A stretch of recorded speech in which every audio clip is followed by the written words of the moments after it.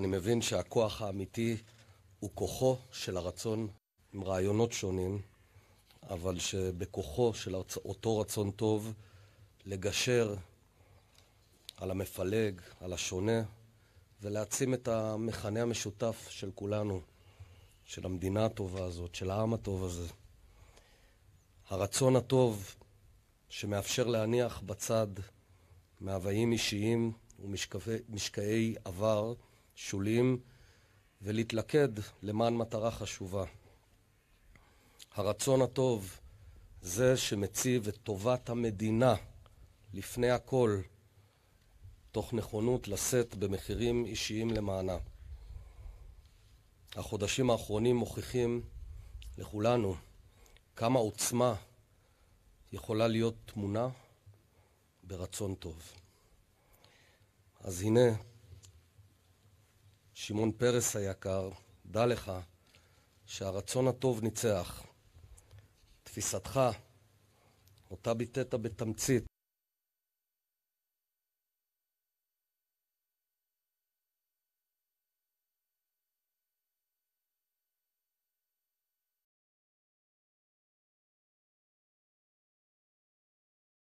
לפני כשמונה שנים, הולכת ומתהווה כמציאות חיים כאן, בתוך המדינה, כמצפן בהנהגתם של העם והמדינה שכל כך אהבת.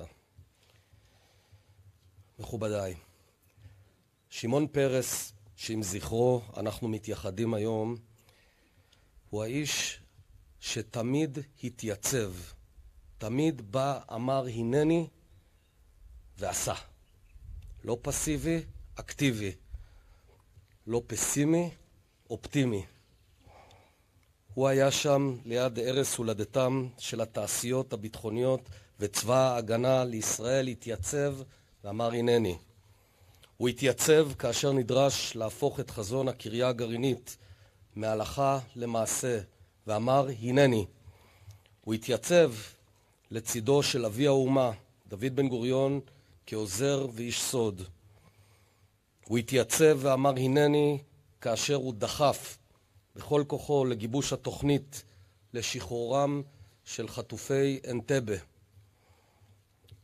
הוא התייצב כאשר האינפלציה השתוללה והמשק שיווע לתוכנית אמיצה, אבל כואבת, לא פופולרית, קשה. והוא אמר הנני. הוא התייצב כאשר נדרשה חשיבה יצירתית ופורצת דרך ביצירת קשרים עם מדינות האזור.